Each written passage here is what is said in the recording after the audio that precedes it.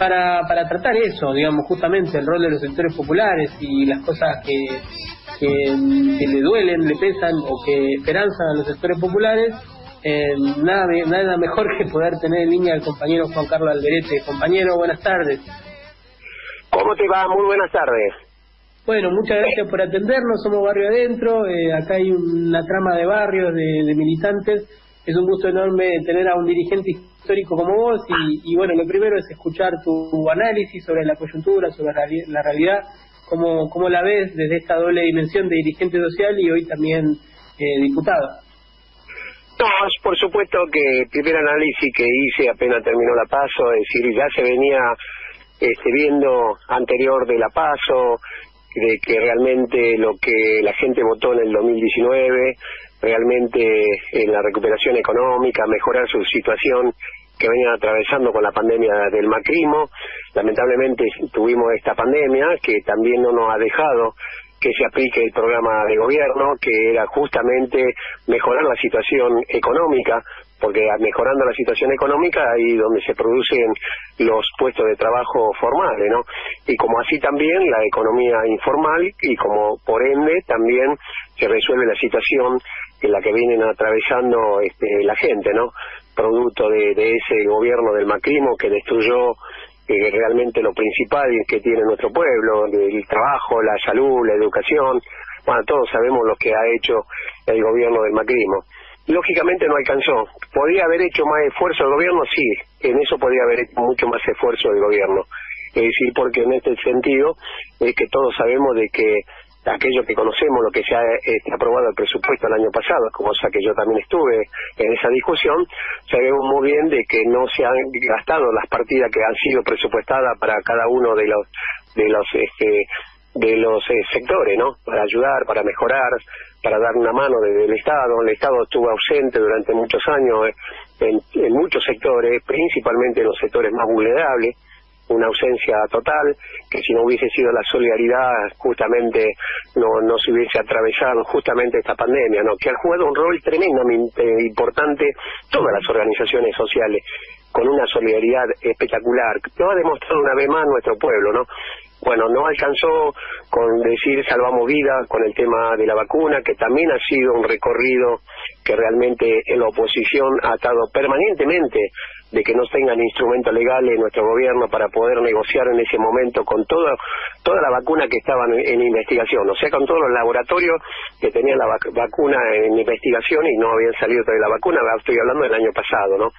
Justamente ese instrumento que ha permitido que negocien con todos los laboratorios que estaban en investigación la vacuna y es por eso es que hemos llegado a esta instancia este, de que hoy podemos decir que podemos ver con mucho más claridad que antes cuando comenzó la vacunación, de ver con mucha más claridad al final del túnel, ¿no? Y por supuesto que tenemos que revertir situaciones que la gente la está pasando mal, el poder adquisitivo, todos sabemos de los trabajadores formales, de la economía informal y de la changa, la changa este, cada vez menos porque justamente el poder adquisitivo de los trabajadores este, ha bajado tremendamente producto de la inflación, tiene instrumentos también el gobierno y herramientas legales como, como agente del Estado para controlar esos 50 empresarios que en el campo se dice que son unos návaros. Lo único que le interesa es la ganancia, la ganancia y todos sabemos la super ganancia que han tenido en medio de la pandemia, ¿no?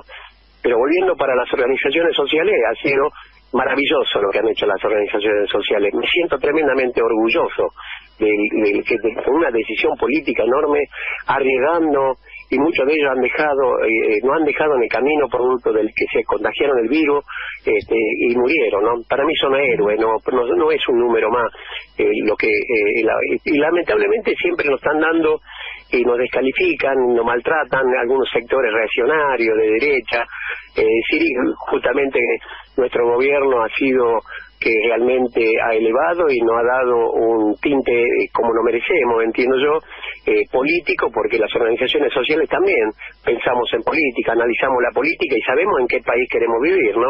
Y bueno, hoy tenemos, que estamos trabajando a full en todos los barrios populares, porque también se ha dado que en los barrios populares que la gente no, quiso, no, no fue a votar porque estaba enojada.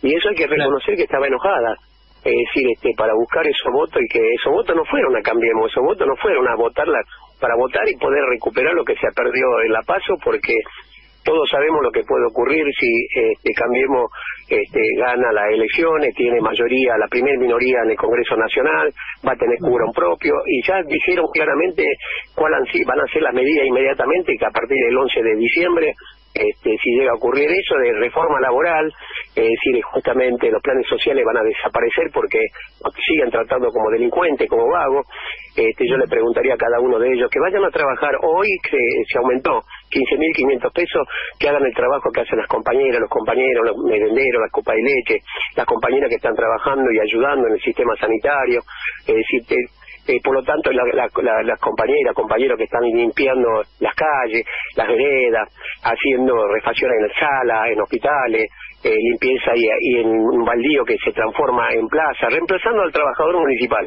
En eso también tienen que hacerse cargo los intendentes, ¿no? Porque están usando los programas sociales, están trabajando y nos siguen tratando de vago, ¿no? Pero bueno, nosotros queremos demostrar de que nosotros vamos en búsqueda de trabajo y en esto también hay un reclamo puntual de que eh, las organizaciones sociales, que en eso fue un proyecto que lo hemos elaborado juntos, producto de que el Papa Francisco en una reunión mundial de organizaciones con Evo Morales en el 2016, 2015, perdón, es decir, cuando, eh, cuando explicó lo de techo, tierra, trabajo, nosotros mismos nos comprometimos de que no quede en un eslogan, en una consigna, nada más que teníamos que elaborar pues, este, justamente lo que más necesitamos, ¿no? que esté hecho tierra, trabajo.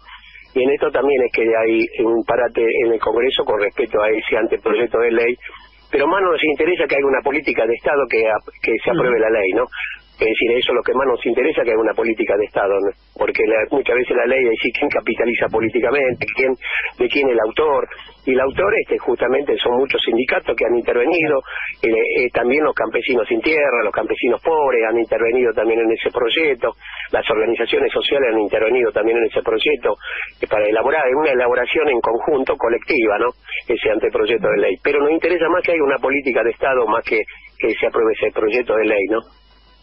Me parece sumamente interesante la descripción que hace en torno a los sectores populares y que solamente la puede hacer alguien como vos que viene de ahí, de la lucha, de, la lucha, parece que fue hace mucho, ¿no? Pero el pueblo con esa potencia de poder salir a la calle en su momento para frenar el neoliberalismo, después con esta otra potencia de ponerle el cuerpo a la pandemia y que hubiera sido mucho más doloroso si no hubiera estado la organización social, y también esta potencia de resolver o de dirimir este disgusto, este enojo, este malestar en las urnas. ¿Cómo estás viendo, Juan Carlos, eh, los barrios? ¿Cómo estás viendo a los compañeros, a las compañeras? ¿Cómo ves que están tomando estas medidas del gobierno?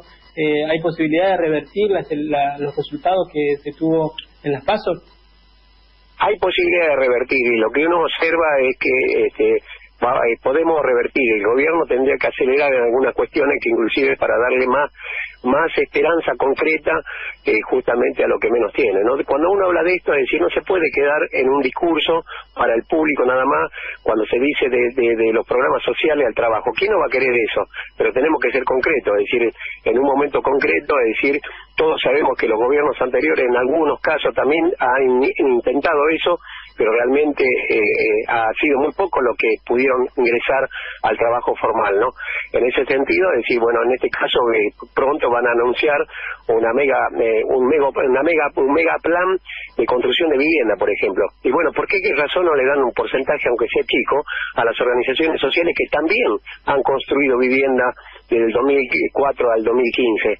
Es decir, en el caso de nuestra organización, 6.200 viviendas en 18 provincias, han hecho también este, pequeña y mediana obras públicas con impacto turístico, muchas de ellas. Es decir, hay, hay calificación también en esos compañeros y parecería de que hoy eh, quieren obviar ante el debate que ha puesto la oposición, los reaccionarios, los medios de comunicación que acompañan a esos reaccionarios y apoyan a esos reaccionarios, de la descalificación que hay hacia las organizaciones sociales, ¿no? Te cuento que en este momento se está haciendo público un video de, de Spert bajándose en la 9 de julio a, querer pelear con, la gente que estaba cortando. Eh, ¿qué, qué, de esta exacerbación de violencia que genera esta derecha? Eh, y, realmente eh, esos epítetos, todas esas consideraciones, traducen lo que es nuestro pueblo, traducen lo que son los movimientos sociales. No, bueno, mira, en, todo este caso es decir, hay una necesidad tremenda y muchas veces en este sentido es que también la derecha aprovecha. Parecería que ellos no, no gobernaban en la Argentina. Y justamente fueron los cuatro años donde el endeudamiento que han hecho es tremendo. Parece que el endeudamiento lo ha hecho otro gobierno, no ellos, y hoy critican las negociaciones que, que se están llevando con el fondo. Nosotros mismos decimos claramente, dentro del frente de todo, es si la deuda es con el pueblo primero. Ese endeudamiento hay que investigar cuál ha sido lo ilícito, lo ilícito, y lo ilícito lo tiene que pagar con su propio bien esas personas que se han enriquecido y han hecho negocios fabulosos y no ha servido ese, ese financiamiento que ha hecho el fondo para la educación, para el trabajo, para este, la salud, este, lo que menos hicieron, porque justamente ha sido para permitir la fuga de capitales, para enriquecerse mucho más de lo que, que, que estaban ricos. Así que por eso decimos y claramente decir, tenemos que investigar esa deuda, cuál es la, la legítima y la ilegítima. Eh, porque si pagamos los intereses de la deuda sabemos muy bien que eso es menos trabajo, menos salud, menos educación, ¿no? Desde, desde tu rol actual y bueno, con, con la incorporación de muchos compañeros y compañeras de, tu espacio político a la gestión, ¿cuál es el saldo eh, que, se puede, el balance que se puede hacer y, qué aporte considerás que hacen o hacemos los sectores populares cuando somos parte de la gestión y de la administración de, de las políticas públicas?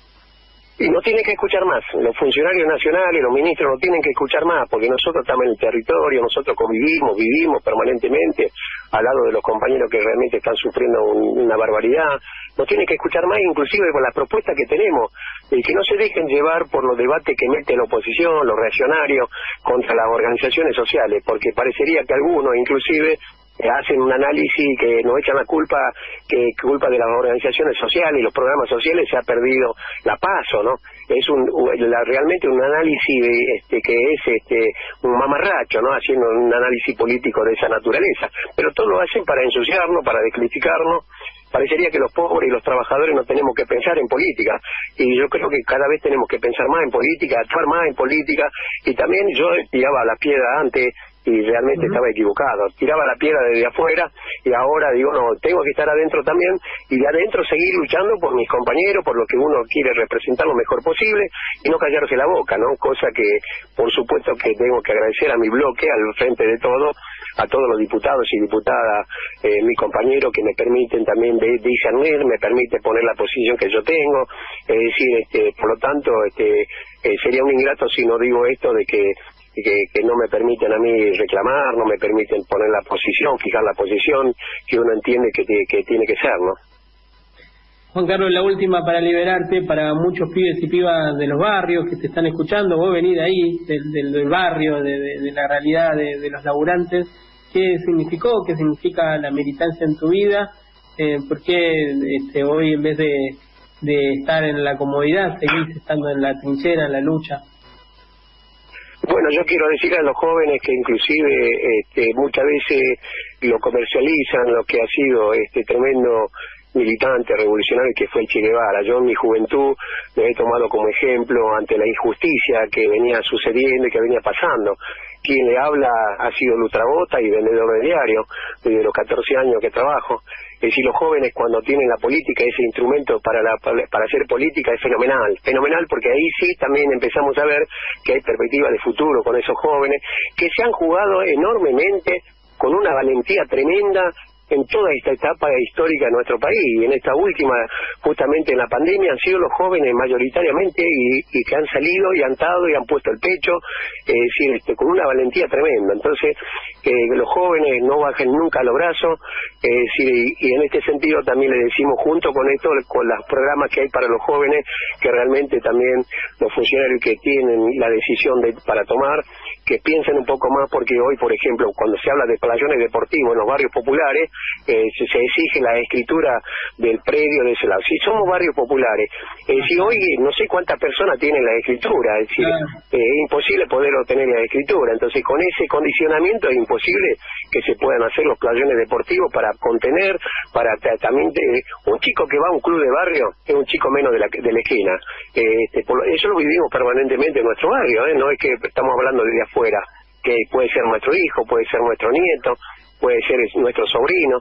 Es decir, uno de, de, ante este tema de que la adicción es cada vez peor, cada vez peor, este, tendrían que apostarse mucho más eh, en ese y darle más instrumentos a los jóvenes para que también los jóvenes tengan que puedan decidir también en decisiones que tengan que ver con su sector también. ¿no? Juan Carlos, muchas gracias por, tu tiempo, también por tu coherencia, por tu militancia, por tu humanidad. Es un gusto enorme hablar con vos y, escucharte y aprender. Un abrazo gigante.